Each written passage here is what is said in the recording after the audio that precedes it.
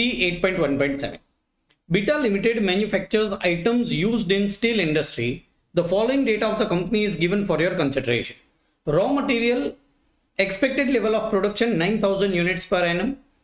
Raw material are expected to remain in store for an average of 2 months before issue to production. So raw material are 2 months. Work in progress 50% completion as to conversion cost will be approximately half month production. Finished goods remains in warehouse on an average of one month. Credit allowed by supplier is one month. Two months credit is normally allowed to debtors. A minimum cash balance of 67,500 is expected to be maintained. Cash sales are 70% less than the credit sales. Safety margin 20%. The production pattern is assumed to be even during the year. The cost structure of Beta Limited is as follows. Raw material is 80 direct labor and overhead are conversion cost out of which 20 is depreciation. Total cost 180 per unit profit is 20 and selling prices 200 you are required to estimate the working capital requirement of beta limited. How i'll be doing it? I'll be finding out all current assets minus current liability. I'll be getting working capital requirement. At a production level of 9000 units. See whenever this type of production level is given for all the points i will be taking this as a base I will not be uh, deciding opening, closing, and then deciding how much units are purchased, especially for creditors. If this level is given, yes. If opening stock, closing stock are given, we can do that detailed calculation. Let us uh, take at 9000 units. Let us start one by one. Raw material are expected to remain in stores for an average of two months before issue of production. We are going to purchase or consume 9000 units for raw material?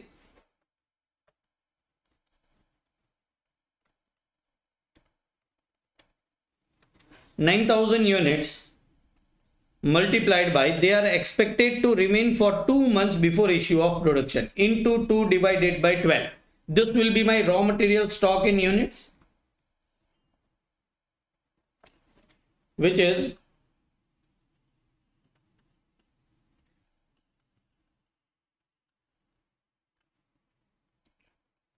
9000 into 2 divided by 12 which is 1500 which price should be taken into consideration? Only raw material cost which is 80 rupees. Let us open our excel sheet and put in all the points. Raw material stock will be of 1500 units. Rate applicable will be 80 So total will be 1 lakh 20,000 for raw material stock. Let us go to WIP. Work in progress 50% as uh, conversion cost will be approximately half month's production. WIP 9000 units into 0.5 divided by 12. 9000 into 0.5 divided by which is 375 units. What should be rate taken for WIP? It should be production cost. So I should be taking 80, 20 and 80. But try to understand. It is 50% complete as to conversion cost. So for raw material, it is 100% complete. What is raw material? 80. 100% complete and it is 50% complete for conversion cost. And this is my conversion cost. 80 plus 20 which is 100 rupees. Now, I will be deciding whether I should take a depreciation or not. See, if you will see suggested answers, they are given by both the methods. I always take it as a cash cost. See, the question does not satisfy, uh, say that you find out by cash cost method or including depreciation method. Try to understand depreciation number one is non-cash. Number two, depreciation relates to fixed asset and fixed asset does not uh, is not considered while calculating working capital requirement. So I normally do it at cash cost basis. So instead of this 80, 60 is others and 20 is depreciation. So I will be taking instead of 100, 20 rupees labor full and overhead only 60 rupees. What will be the answer? uh, this will be uh, 40 120 rupees WIP 375 units at a cost of 120 will be 45,000. This is work in progress. Finished goods remained in warehouse for one month. Let us find out finished goods.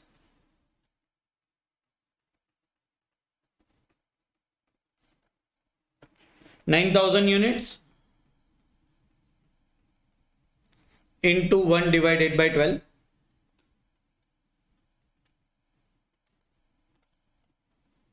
Seven fifty. what should be taken 100% production cost which is 80 for raw material 20 for labor and 60 for overhead excluding depreciation this is 160 rupees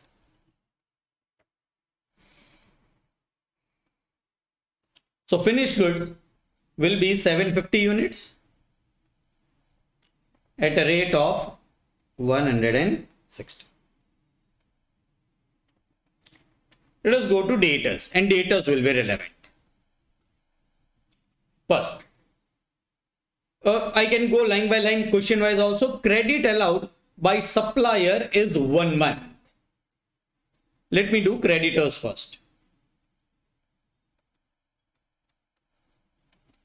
How many units have purchased? 9000 units. Please understand, I could have also done this how many units of raw material are manufactured? 9000 units. What is closing stock of raw material? 1500 that I need to manufacture. How much raw material is in WIP? 375. How much raw material are in finished goods? 750. But please understand if I do this, instead of 9000, I take this figure. There are closing. Then I should reduce my opening also. Opening figures are not given anywhere. It is also not given that this is first year of manufacturing. So we can take opening zero. In absence of information, if it is told that expected level of production activity is 9000 units, I will assume whatever is purchased is what is manufactured. 9000 units. Creditors period is credit allowed to supplier is 1 month into 1 divided by 12 which will be 750 units and for creditors I should be taking purchase price of raw material that is 80 rupees. So I'll be getting answer of creditors 750 rate applicable will be 80.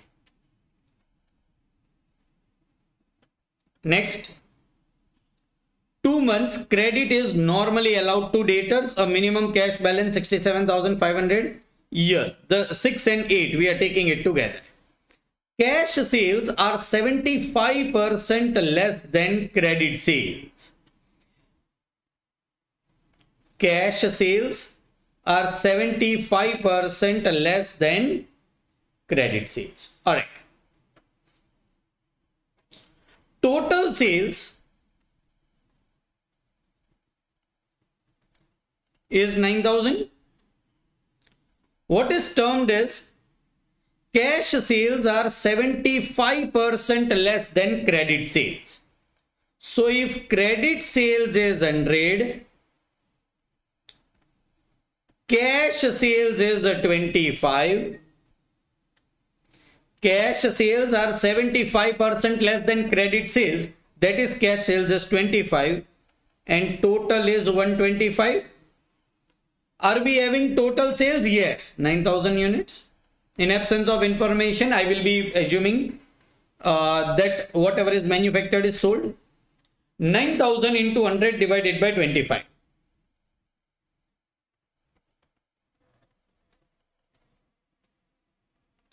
7200 7200 units will be nothing but credit sales. What rate we should take? Normally if nothing is given you should be taking debtors on cost. Are we having cost? Yes 180 minus 20 of depreciation that is 160 rupees can you take debtors at selling price? Yes. Then you should be taking at 200 rupees.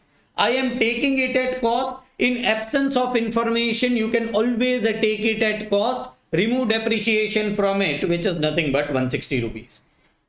Credit sales i should be taking 160 rupees. I'll be putting it in my excel sheet. Debtors 7200 units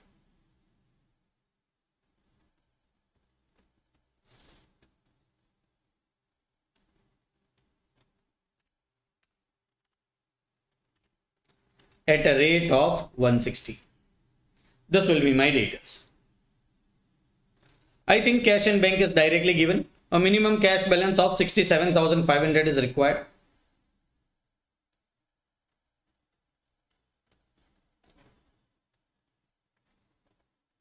There are no information for outstanding uh, labor and overhead.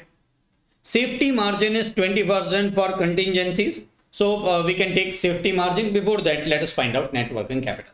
This is total current assets minus total current liability, I will be getting net working capital that is 14 lakh 44,500. Net working capital 14 lakh 44,000 add 20% contingencies margin. 14 lakh 44,500 into 20 percent which is 2 lakh 88,900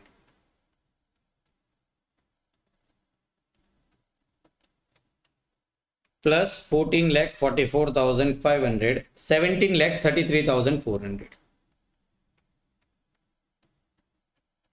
is nothing but net working capital requirement after contingencies uh, I think this data figures is incorrect because it is very high, 7,200. Yes, 7,200 is credit sales. We need to take debtors period in it.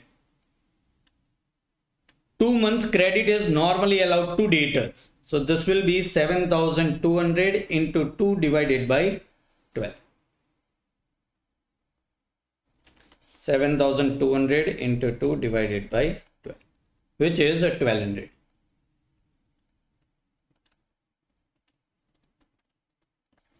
1200 units at the rate of 160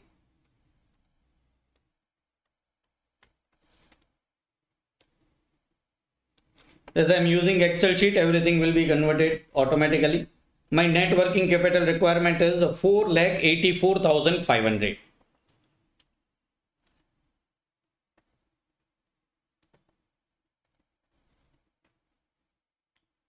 net working capital requirement will be 4 lakh 84,000. I need to add 20% contingencies. 96,900.